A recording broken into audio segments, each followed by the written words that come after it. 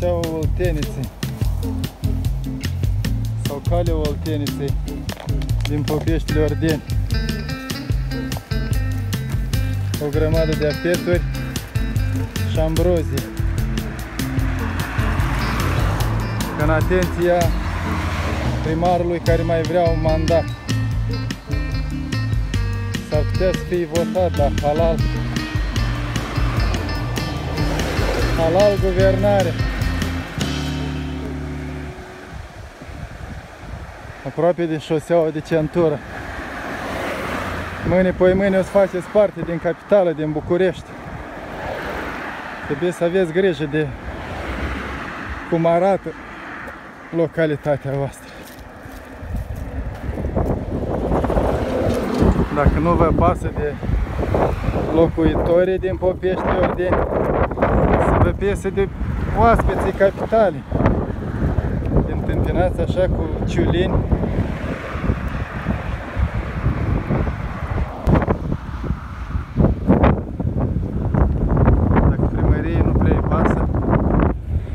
pas asociației Tighina.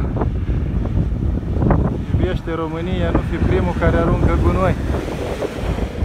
Dar se pare că s-a pierdut urma primului sau primei. Aici e numai gunoi.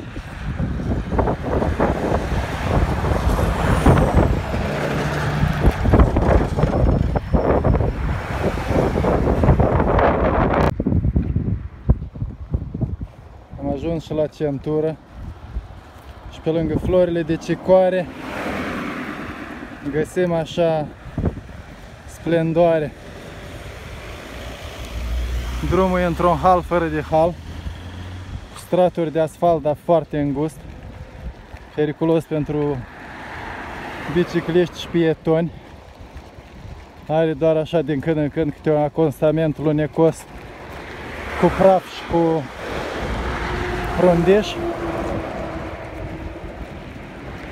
În rest trebuie să coabitez cu mașinile, încă autovehiculele astea mici nu sunt strașnice cum sunt strașnice tirurile care poate să treacă pe lângă tine la 20 cm.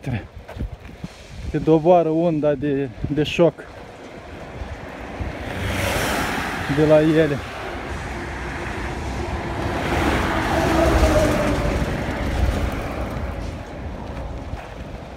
Așa că centura Bucureștilor e total neprietenoasă pentru pedalat, periculoasă, dar și pentru șofat e enervant, pentru că la fiecare intersecție e ambuteiaj. Mai ales dacă nu sunt pasaje denivelate. Acum și o să vă filmez unul.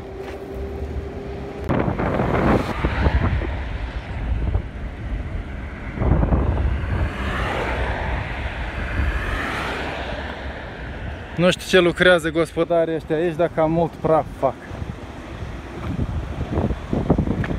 Și taman lângă oraș. Vântul își facă praful ăsta și îl duce în capitala europeană Buharest. Drept în plămânii noștri. Și ne mirăm că e cea mai poluată capitală.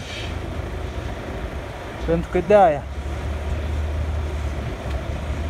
Că nimănui nu-i pasă.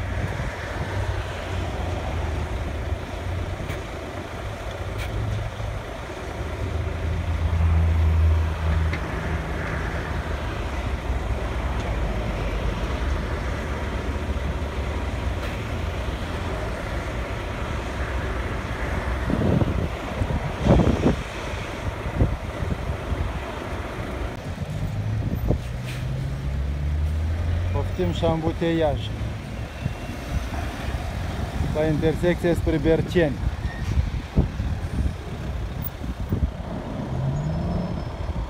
Ăștia pe centură.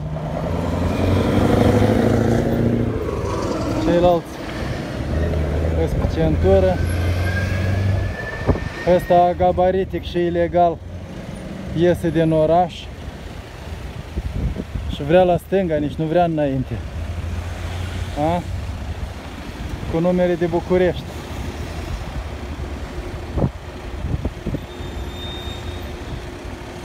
Și cam așa e cu centura în jurul Bucureștilor. Numai în nord acolo are un fel de regim de autostradă cu ronduri, sensuri giratorii.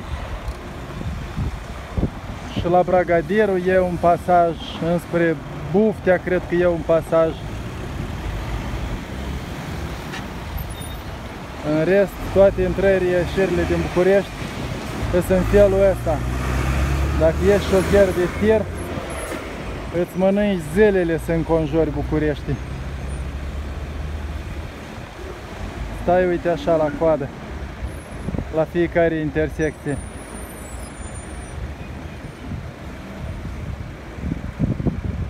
Și în jur de, de mafie românească.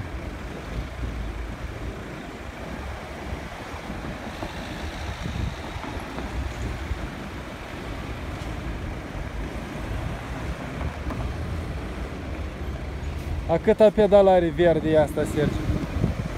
Nu le nume. E nouă, Matencă.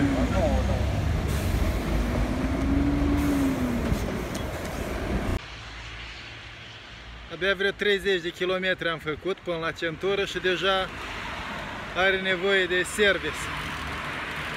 Așa e cu tehnica și cu bicicletele. Prea sus? Rezolvăm. Descurcăreț. Echipa verde. Inspectăm în fiecare weekend urbea și suburbiile. Vrem să adunăm împreună sub aceeași administrație și capitala și județul Ilfov că prea multă energie, prea multe resurse cheltuiem pentru 40-47 de, de administrații și atât de des probleme comune încât ar trebui să le comasăm. La drum. Șoseaua Berceni se pare că e singura zonă unde trenurile de metrou poate să iasă la suprafață să vadă soarele. Depoul Berceni. Iată, mai sunt pedalaci ca noi. Un moșulică.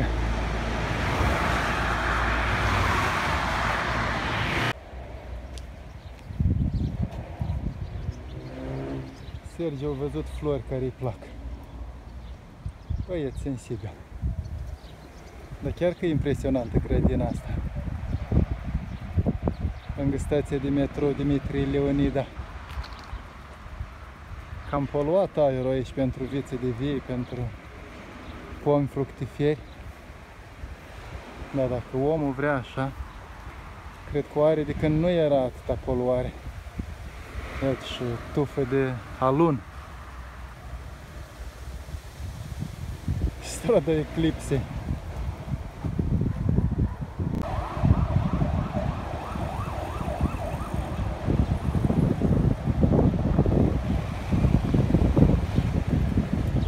Poliția are misiune specială. Stă la Taifas. Cu girofarul pornit. Și stați aici. Șoseaua Berceni.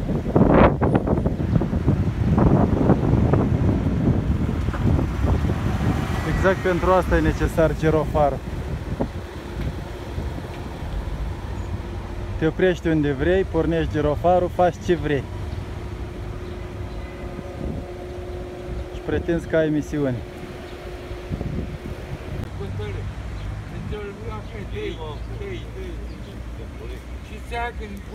Am oprit la metro apărătorii patrii, stăm puțin la umbră că e prea cald azi. De jumătate de oră stau aici, că am mâncat eu o plăcintă cu șperci ei stau și se bronzează și produc biogaz.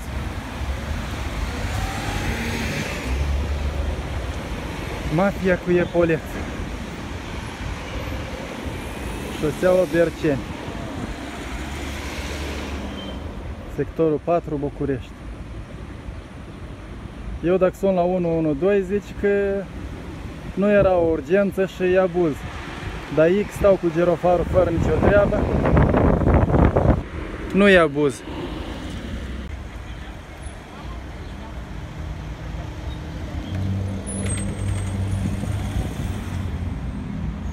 Poliția locală cu mașini mai mici, fără numere de matriculare, carosabil și cu aceeași situație, parcat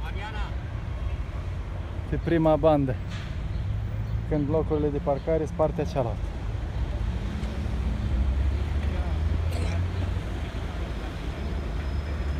A, altora nu permite să parcheze, staționeze.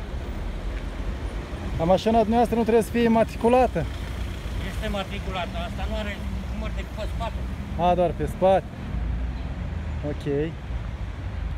Ca motocicletele.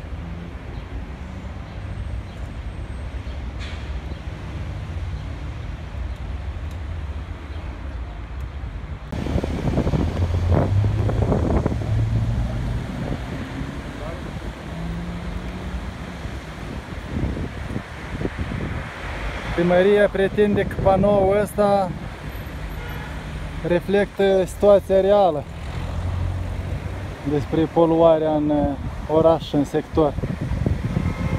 Eu mă tem că e doar un film frumos și amăgitor. Numere galbene sunt provizorii sau de poliție. Și aici punem la încărcat telefonul și parcăm bicicleta și parcare supravegheată. Bun.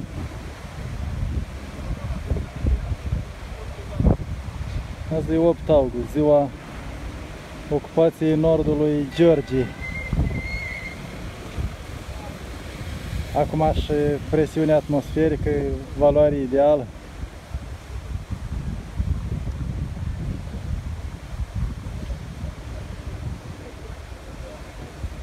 Uite, 49 decibeli, depășește valoarea ideală și el tot cu zâmbet sus, deci se împăcălește.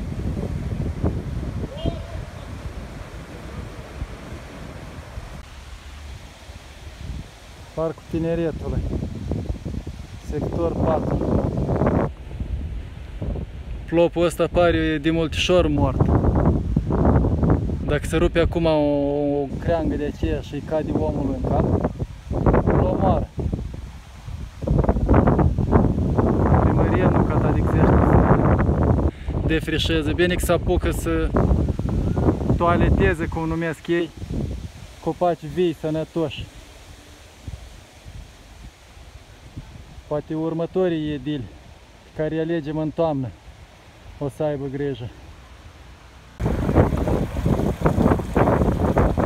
Unii au grijă să dar alții s-au gândit și să ia date. Făcut un fontan special pentru porumbei.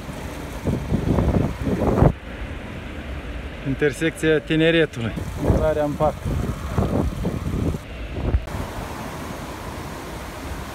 La bustul Cantemer de pe bulevardul cu același nume. Am încheiat pedalarea în 2 cu numărul 9. Am inspectat estul capitalei. Am ajuns până la Berceni. Mulțumesc colegului de partid pentru companie. Ne vedem în weekendul următor, poate.